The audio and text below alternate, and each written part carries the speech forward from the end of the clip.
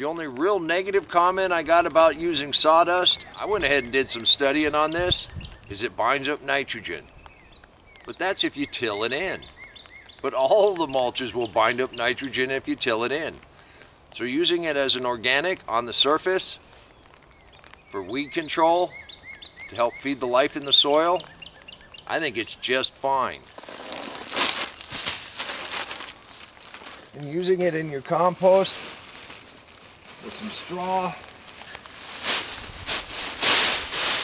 some leaves, some fresh cut grass, I think it's a beautiful way to start.